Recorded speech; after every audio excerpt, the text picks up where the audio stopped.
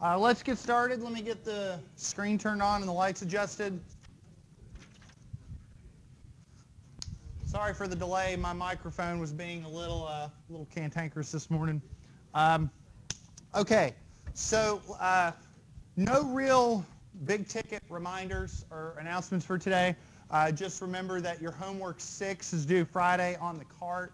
Um, there was a question I got a second ago about uh, what problem was it, two or three? About the shears, uh, about the, the loads on the beam. There was a dead load and a live load. Do you factor those loads? The answer is yes, you do. Uh, so make sure that you're applying all your appropriate load factors, 1.2s for deads, 1.6 for lives, etc. Um, just remember, uh, as of now, we still don't need to meet on uh, Friday, March 16th. I'm still saying as of now because I assume we're going to be fine in terms of weather, but um, if everything goes well, we shouldn't need to meet. Um, today, what we're going to do is we're going to continue on with shear. Um, we're going to do one more example. This example is going to be a little different because there's concentrated loads uh, in effect. So the shear diagram gets a little more complicated. The process doesn't change uh, in terms of, of how you actually design for shear, but you just need to be aware of what you're doing in terms of, uh, of utilizing, uh, uh, of utilizing your shear diagrams uh, and so on and so forth. So let me go back to the PowerPoint. Now I, want to I want to sort of again recap the procedure because if you have a if you have an idea of the procedure in your head, I think you'll understand how the design process works. Today's example, we're going to follow the procedure a little more strictly. In the previous example, when we were doing the distributed load, we produced like three or four different designs using different spacings and so on and so forth. And the reason for that was, was from a learning experience so that you would understand how you space that out. You know, you take your your um, your first increment at two inches, and then you go two, you know, four inches up until such a distance, and then 12 inches until such a distance, and so on and so forth. I wanted you to understand those computations. Today's going to be pretty much start to end. Here, here's how you do it. So I, I think this one will be a, a little more straightforward. So again, step one is always to construct the shear diagram. Remember, there are three regions of interest.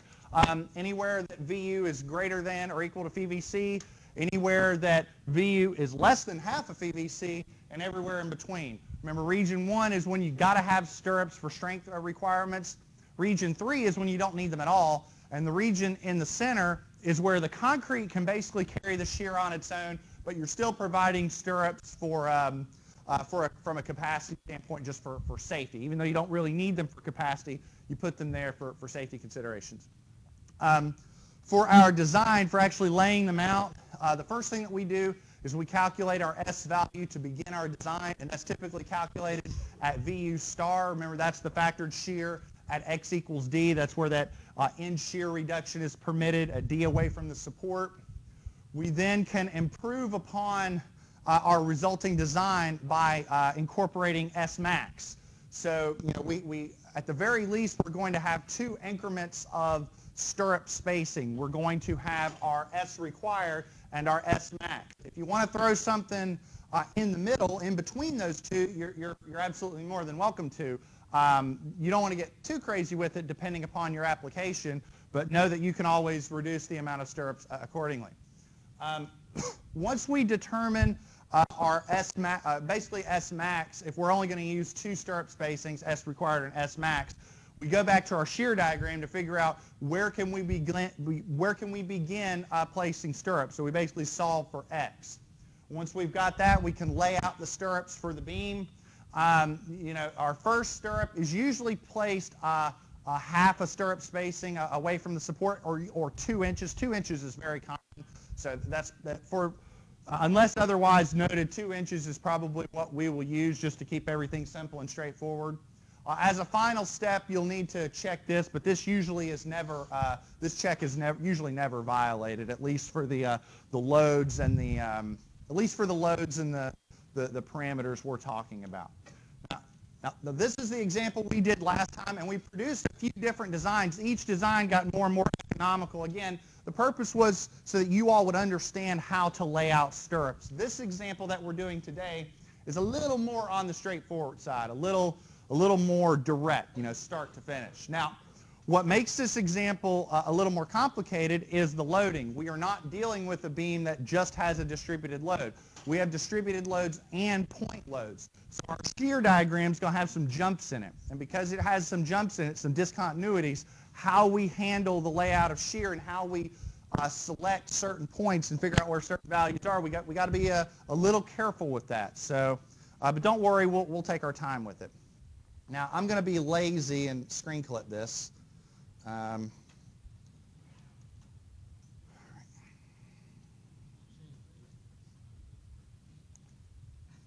but it's true.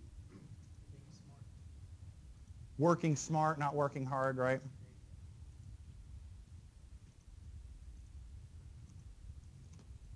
Oh, goodness. Squunch that a bit. I'm going to lower, I'm going to drop that down a little bit. There we go. Okay. So this is the example that we're doing in class today. So example, this is example 14.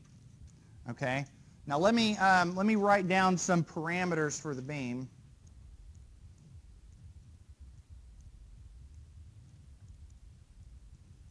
Just so everybody has this uh, handy. So we have uh, FC prime is 3 KSI, and this is normal weight concrete. So what does that mean? Lambda's 1. We'll go ahead and uh, throw that out there. Um, we have a yield stress for the stirrups of 60 KSI. Now, as for the beam, the beam is 10 inches wide, and its effective depth is, let's say, 20 inches, or yeah, it's 20 inches. And its length is 24 feet or 288 inches. Okay? Now we're using number three U-shaped stirrups, or I didn't put the three there. Got ahead of myself. Number three U-shaped stirrups.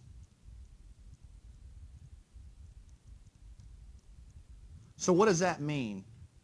Like what that, that affects our AV. What is that? 0.22.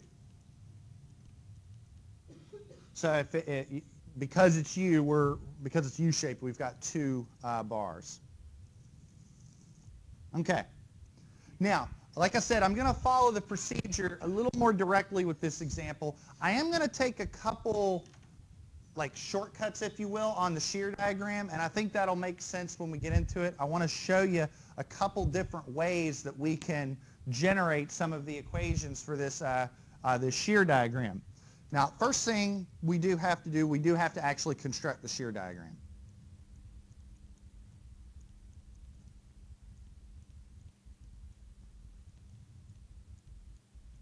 Now, this is one of, if not the most work-intensive uh, steps in the whole process is to actually get a shear diagram that makes sense. But it's not even so much just the shear diagram, it's the equations for the shear diagram. Now, you all have had structural analysis, so help me begin. How do I draw the shear diagram? But you know what? Let's ignore all these equations and, and, and, and y equals mx plus b and all this stuff. Let's just do the shear diagram. How do you draw the shear diagram for this beam? Tell me what step one is. A straight edge. No, what was that? Find the. Find the reaction forces. So we do need to find the reactions. Now, are the reactions going to be equal? Yes. Yeah, they're going to be, because everything's symmetric. We have symmetric loading and a symmetric geometry. So we're going to have whatever this reaction is and whatever this reaction is, they are the same. Now, can anybody tell me a simple way of computing what this reaction is? Like let's handle the, like let's say the distributed load didn't exist. Let's say the distributed load didn't exist. What would the reactions be?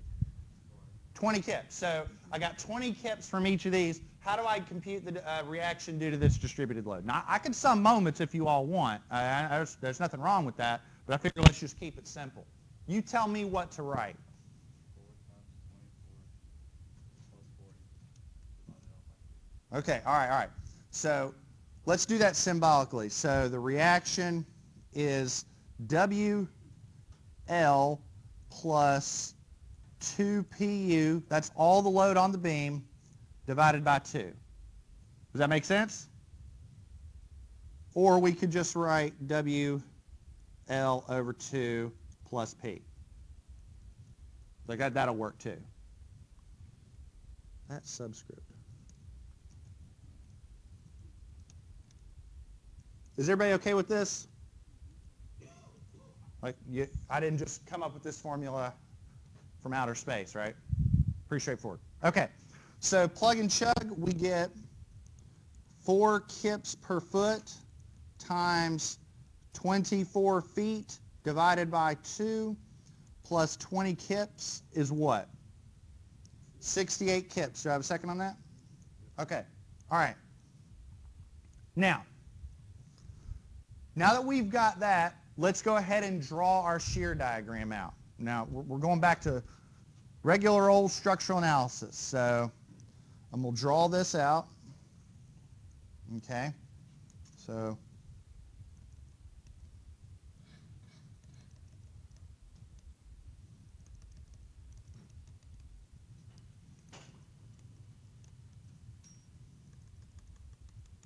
Those are about the straightest vertical lines I've ever drawn. I can't believe that.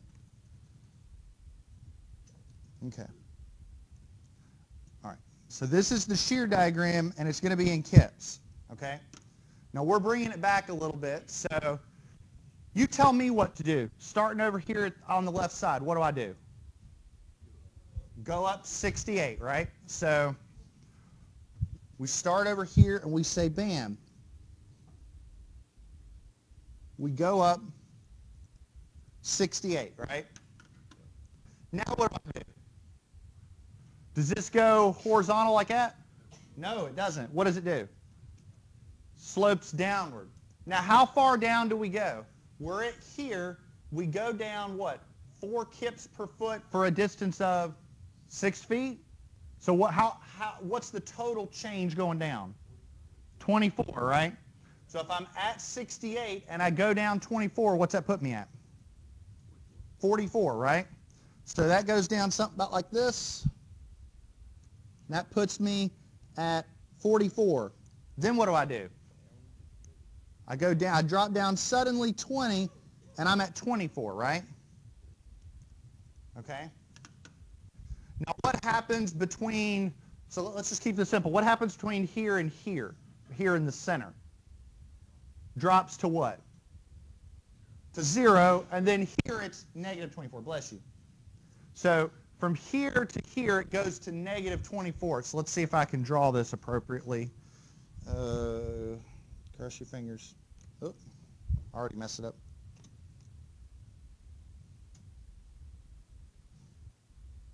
That's about the best you're getting out of me.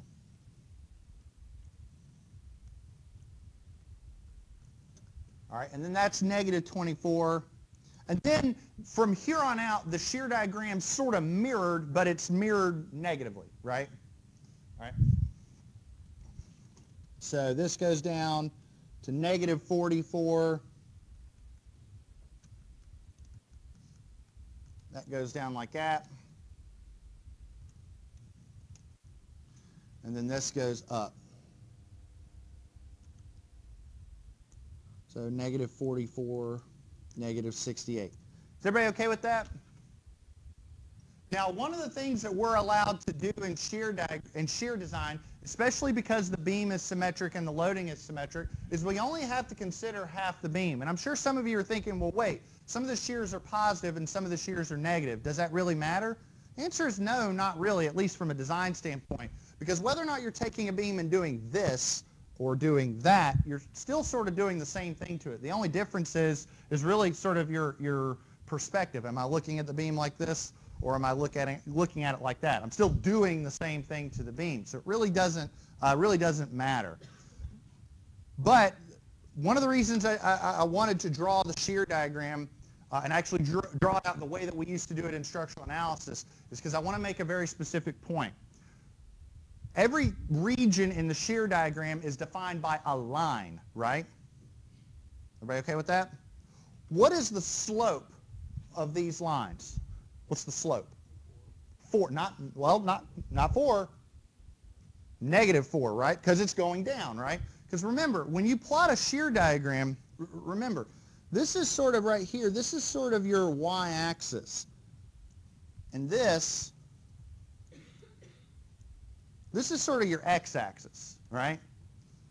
And what you're plot, like this diagram is essentially the shear. This is the shear, but it's plotted on that axis. So, so what I'm getting at, each of these lines, each of these lines right here have a slope.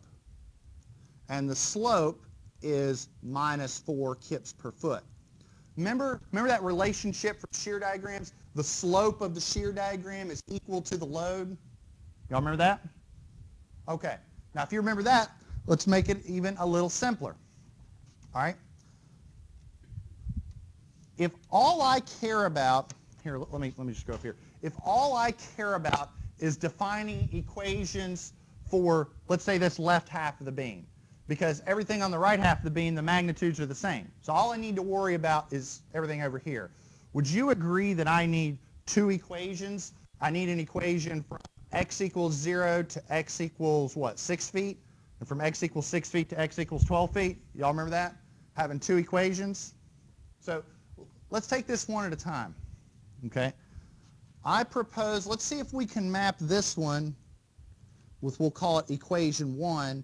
Let's see if we can map this one with equation 2. All right, let's look at equation 1. What is the slope of that line? Minus 4 kips per foot, right? Make sense? Now, if this is a line, y equals mx plus b, well, we know the slope. What is the y-intercept of that line? R, or 68 kips, right? So therefore, I propose that the equation for this line is 68 kips minus 4 kip per foot times x. Would that be a fair statement? That's not bad, right?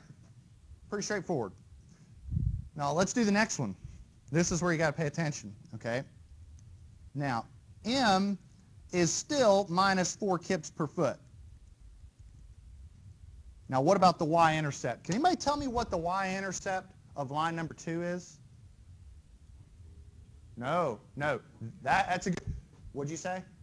You're right. This is the y-axis. Okay, the y-axis didn't move here. The y-axis is still here. The question is, where does this line cross the y-axis? So if that's 24, watch this.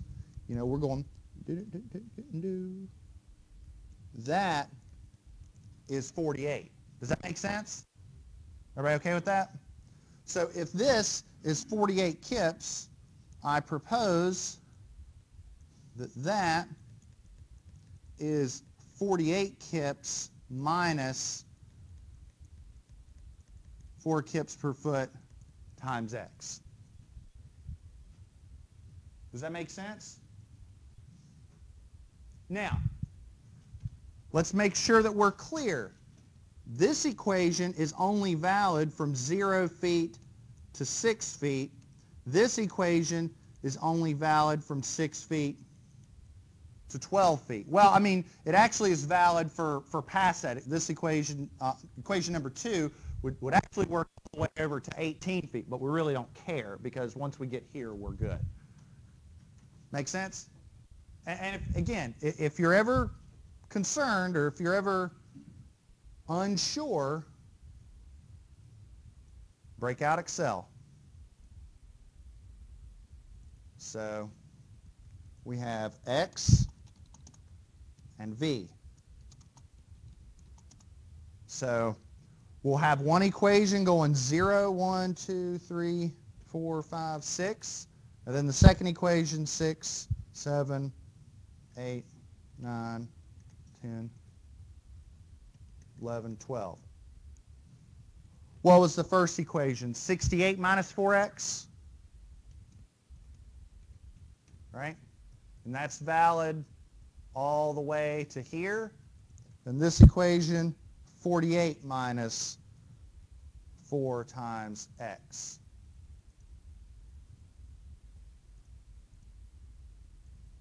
Bam. And then highlight that, and insert a scatter plot. That's exactly what it should look like, right? Goes up to 68, slopes down, jumps, slopes down, right? So you always have the ability to check to make sure these equations are right. Everybody okay with this? Did I go too fast on the Excel or is everybody good? Okay, all right. And again, you can always hit pause and on the recording, you know, hit that subscribe button, right? Make sure you hit the notify bell. That was a joke. Oh my goodness. All right. Bless you. All right, everybody good on this so far? Okay. So we've got the equations necessary to plot our shear diagram, but in order to plot it appropriately, we need uh, concrete capacities, right? So we need to calculate phi VC and, and all that jazz. Okay. So can I go ahead and move on to the next panel? Okay. All right. So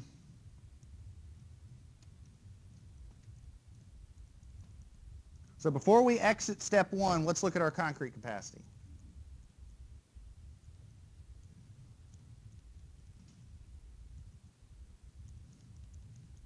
Okay, concrete capacity. So how do I compute VC?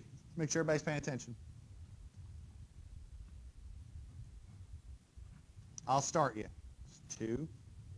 There we go.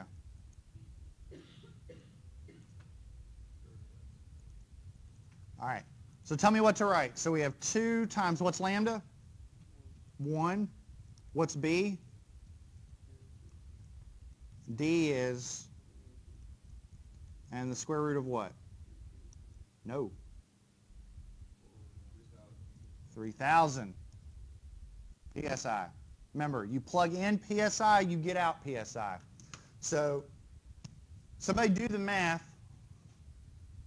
Say to the nearest number or nearest integer or whatever. What are we getting? 21,909. And what is that? No. It's this is PSI, but see this is where yeah this is an easy mistake to make, and it's not that big of a deal. It really isn't. But this is one of those things where on an exam, like the, that unit, it'll just it'll carry and drive you crazy throughout the rest of the problem. This is in pounds. So the square root of PSI, that will yield PSI, but then you got it multiplied by inches and by inches, so that'll be pounds. So converted, 21.909 kips. Okay? So what's phi VC? What do I what do I do here? 0.75. Phi is 0.75 always for shear. That's you know, remember what what is phi for bending? It depends, right? It depends on what the strain in the steel is. But for shear, it's always 0.75. So 0.75 times 21.909. Say it again, 16 point what? 43 uh, kips. Do I have a second on that? And any other values we need to go ahead and compute? Half of phi VC.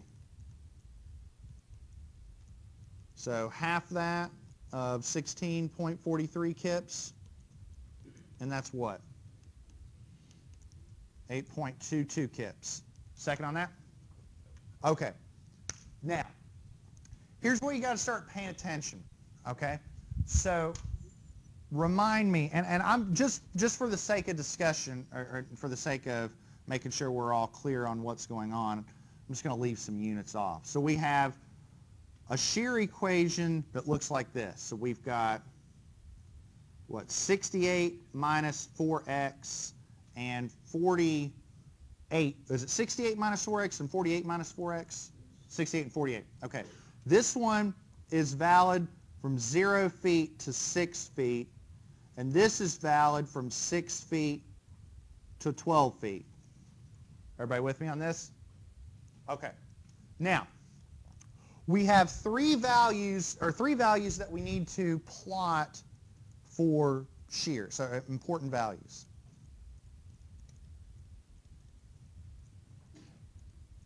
Okay, so let's make sure we're clear. So first one is VU star.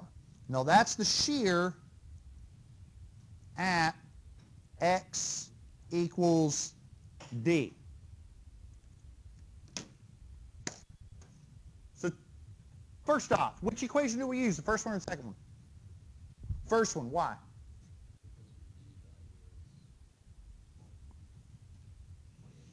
So, okay, here we go. So D is 20 inches, which falls in between the first range, right?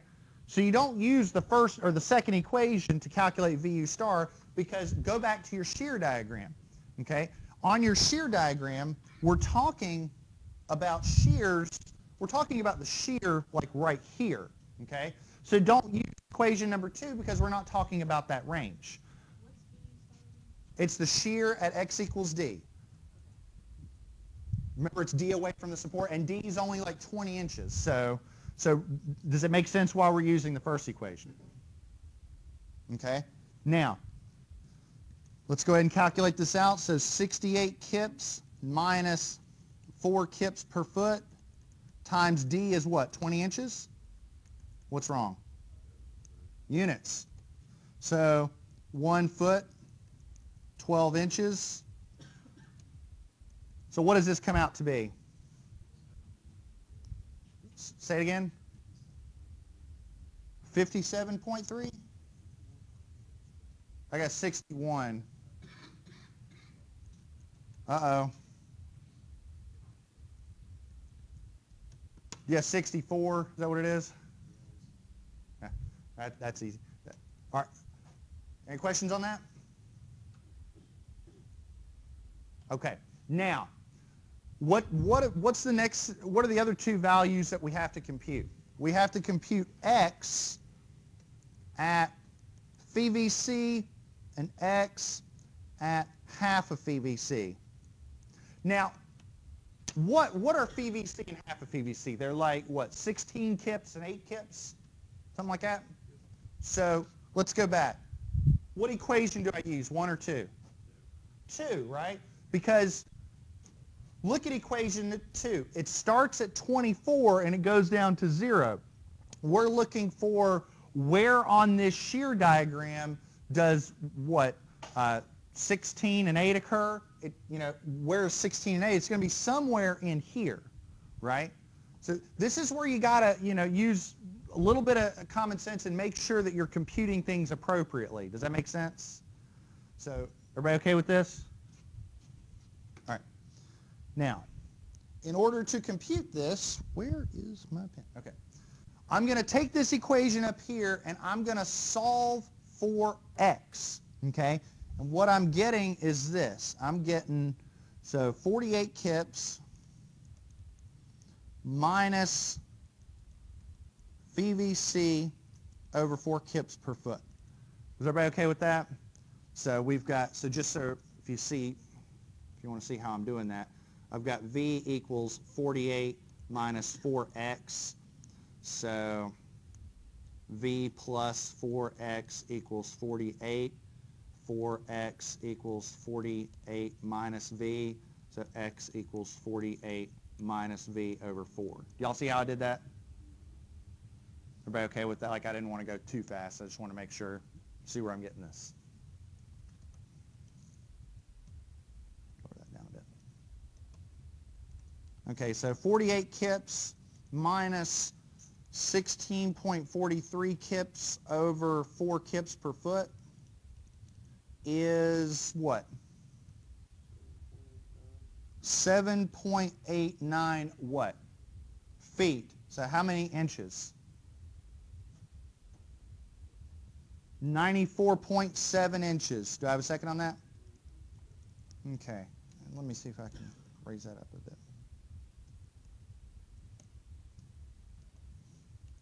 So 48 kips minus half of phi VC over 4 kips per foot. So 48 kips minus 8.22.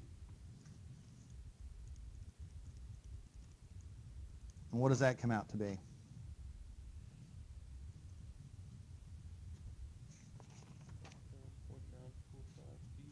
So 9.95 feet. Do I have a second on that? And what is that in inches? It's like 100 something. 119.4, about cap. Point three. luckily, as you've seen by now, this isn't as hypersensitive to rounding as some of the other stuff we've done before because our stirrup increments are going to be like four inches, six inches, so they're probably going to cross over the, these regions. So it's not going to be that big of a deal. So, um, actually, sorry. everybody okay with this? Okay. Let me go on to the other panel and let's actually construct the shear diagram. So this is where having a straight edge helps. There's a tool here on this screen that'll allow you to draw the straight edge, but oh goodness, I'm, I'm not breaking it out.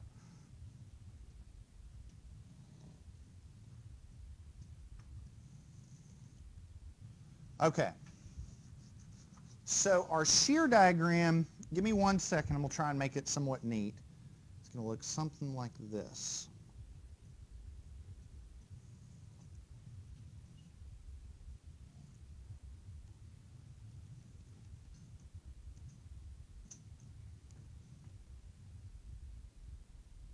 Okay, so that's sort of what our shear diagram looks like. Um, now we have a cutoff right here. So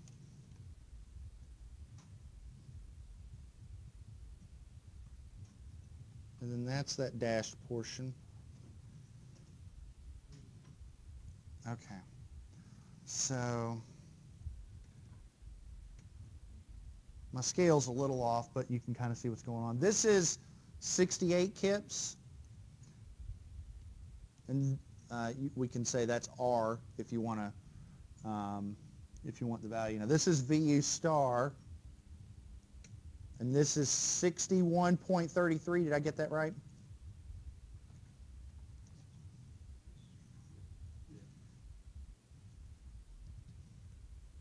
Okay, and that's at a distance of 20 inches. Okay, now this is this jump here, this is 44 kips, and that's 24 kips, right? I, did I get that right? Okay, and then we've got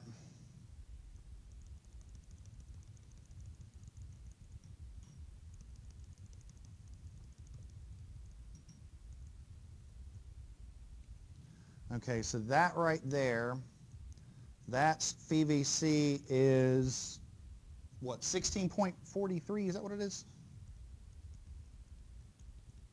And this is half of phi VC, which is 8.22 kips. And this is 94.7 inches. This is 119.3 inches. And what was this? What's that? 72 inches. Okay.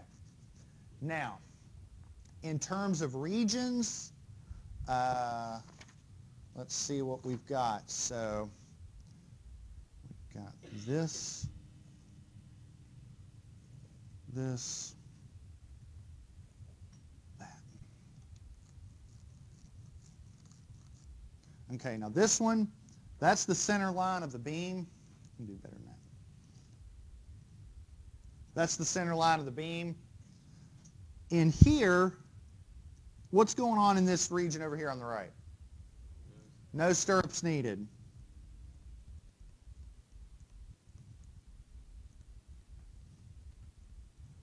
This region right here is where the concrete carries the shear. It's basically saying the same thing.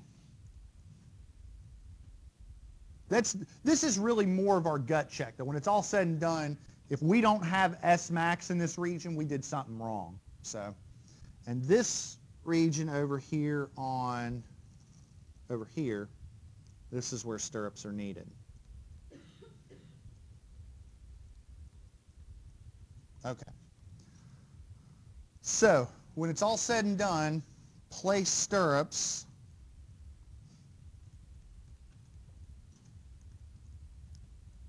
from x equals 0 to x equals 119.3. And I know some of you are probably going to think that, well, well, is it really necessary to draw this shear diagram if I've got all my values and my data? Can I just look at the equations and see? With enough experience, yes. But I'll go ahead and tell you, there's a problem on the homework assignment where it really will help to have the actual image. And I don't want to spoil anything, but you'll see what I mean. Um, but yeah, we need to place stirrups from x equals 0 to x equals 119.3. So that there's a couple takeaways. We need to make sure that our resulting design, when it's all said and done, has stirrups from x equals 0 to x equals 119.3. We know this region over here needs S max, but a large chunk of the beam, we actually need some serious stirrup layout. Okay? Everybody okay with this? Okay. Any questions so far? Like, like I said, I know that this is a long part of the, uh, the problem. It gets a little better from here. So we're actually almost, I'd say we're close to being half, we're over halfway done with this example. I know, step one takes about half the time. Everybody good? All right. So, okay. So step two is our starting S value.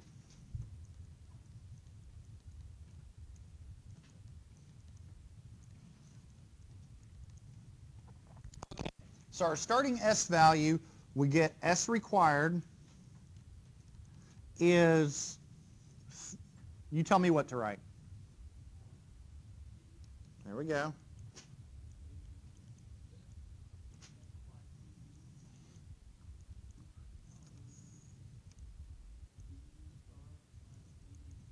Okay. And remember, all that is is just taking phi VN has to be greater than or equal to VU. VS is V, FY, D over S, and just solving. It, it's just algebra. It's really nothing, nothing magical. So, so we have 0.75, 0.22 square inches. We have, what was, was it 60 KSI? And D was 20, if our memory serves. Now VU star, that one was 61.33 kips, and phi VC was what? 16.43. Do I multiply by phi right here? No, I, I already incorporated that in, in the calculation. That's an easy mistake to make. It's like, oh, I, have got to, uh, you know, my multiplying by phi twice. Just make sure you don't do that. Now, what are we getting when we compute this out?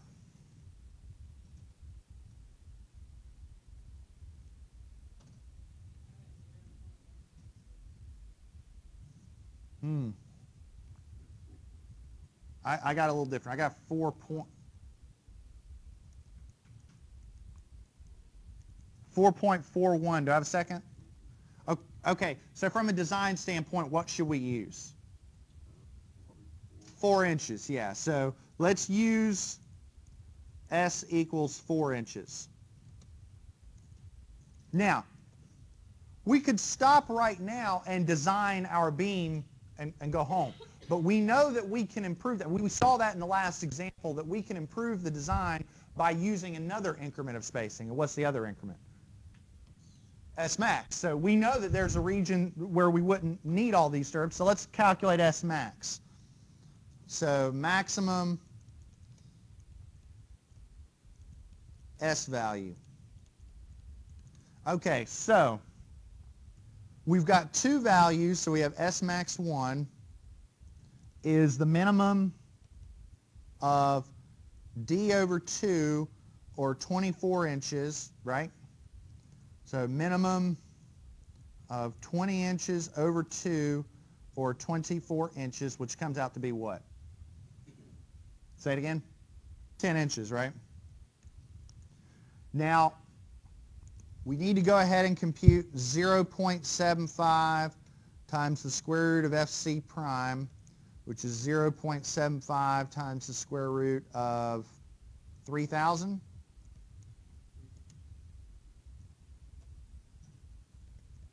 Which is what?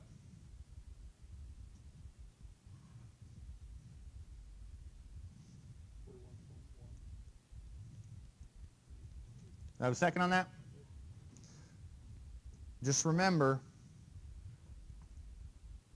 we're doing that because our second limit on stirrup spacing states that we we compute that by taking AV uh, times FY, dividing it by B times the maximum of these two values. So what's the maximum of that in 50 for our example?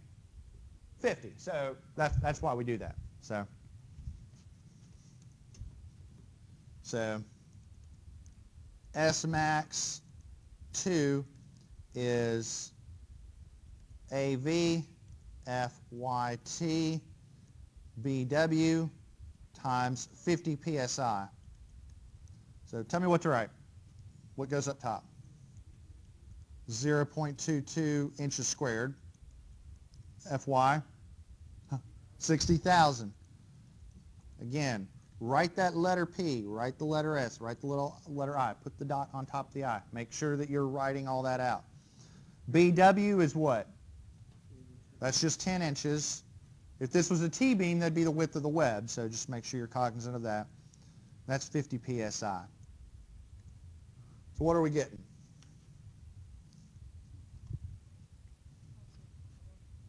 Twenty-six point four inches. Do I have a second on that? All right. So of these two, what am I going to use? No. No. The ten.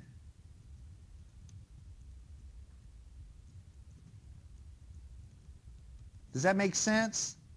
What's the worst, what's the more conservative option using 10 inches or 26 or something? It's the 10 inches, right? That's, that's what's going to govern. Now, what's left? Are we missing, can we go ahead and start laying out our stirrups now or are we missing something? A range, right? Because, but think about this, right? What are we going to do? We're going to place our first stirrup at 2 inches, right? Then we're going to use 4 inches until where? Until we can start using 10 inches, right? We don't know when we can start using 10 inches because we got to determine what's the capacity. So let's do this. All right, so 3, or sorry, step 4 is determine range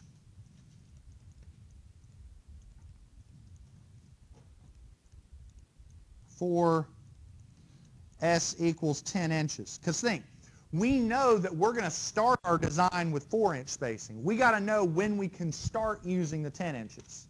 Make sense? Okay. So how do I do that? What do I do with this S value? What's the first thing I compute? VS. So that's AV FY D over S, which is 0.22 I can go ahead and use 60 KSI here because I'm not, I don't have any square roots or anything. And then this is 20 over 10, right?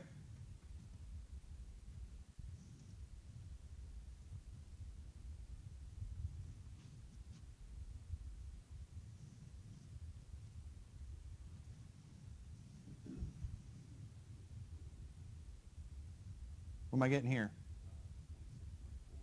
26.4 what? Do I have a second on that? Now what do I do? If I got VS, what can I then compute? Well, I'm missing something.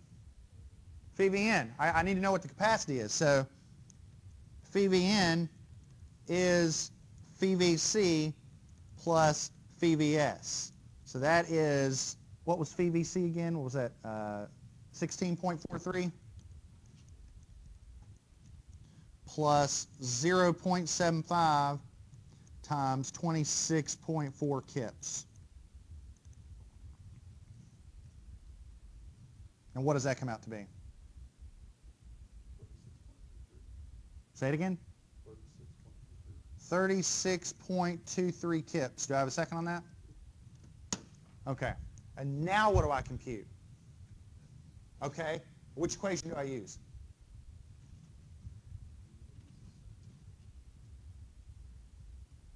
I'll give you a hint. It's a trick question.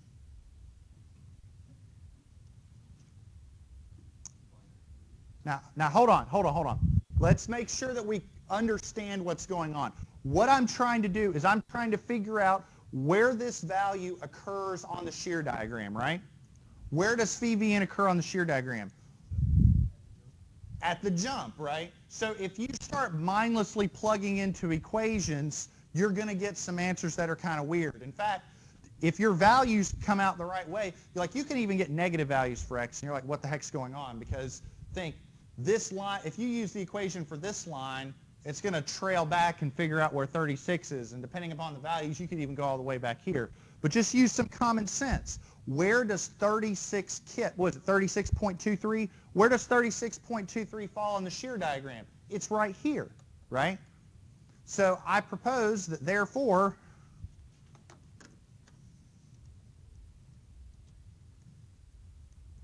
x at phi vn is 72. Does that make sense? And the reason is because of that concentrated load. So you, you got to be cognizant. You can't, uh, you, you know, if you s- this, this is this is one of those methods where if you start mindlessly just oh I got to plug that value into x, you can get some strange answers. Okay, because the equations are just plotting that line, but remember that line is only valid for a certain range. So you got to be aware of that. Any questions? Okay. Now,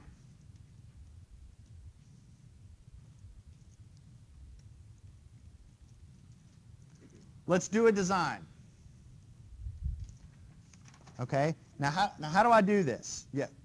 So right there, technically, the shear is higher too. So like, how would we able to put like, so that's the cutoff for. Um, I don't know what you're asking. um, that's the cutoff for the uh, the max, right? For the stirrups. Yeah. So uh, right there, the shear goes up. It it starts out at 44 kips, right? Like that on the shear. I don't know. That's where it jumps. So technically, there's more shear than than it can be there. Bear with me. Okay. Bear with me. I think I'll answer your question. Just give me a sec. Okay. okay. Let's do a design, and I think I'll answer what you're asking. I, I, I'll answer your ask. Now, I'm going to verbally write this out like I've done before. So what are we going to do? We're going to place our first stirrup at two inches, right? Then we're going to use four inch spacing until when? 72 inches. Then what? Use 10 inch spacing until x equals what? If everybody's, what's the number we should have kept in the back of our head? 119.4. Everybody with me? Okay, so tell me tell me what to do. So we have one stirrup at two inches, and that's two inches. Then we're going to use four inch spacing. How many increments do we need? Is 10 increments enough? 10 times 4 is 40. So that'll only get us to 42. That's not enough. How many do we need? 18. And that's what? 18 times 4 is 72. So, so going back to your question, I don't think, I think I get what you're asking. And the answer is, I don't think it really matters because that stirrup increment straddles that point. So it doesn't really matter. Does that, that kind of answer? Okay, so this is x equals 2. This is x equals 74. Now, at 10-inch increments, how, how many stirrups do we need? We need 5, right? So 5 at 10 inches, that's 50 inches. That'll get us at x equals 124. We couldn't use 4 because that would only be 114. It wouldn't be far enough. So that's what, 18 and 5, 23, that's 24 stirrups for 124 inches, or 48 total. So that is our design.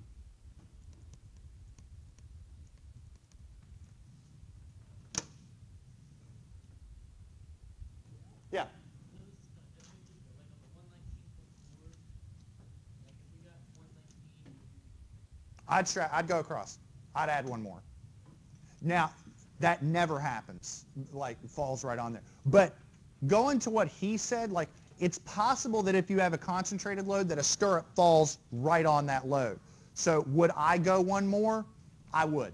I'd go one more to ensure that I've got a region that completely encompasses where that load is. I would.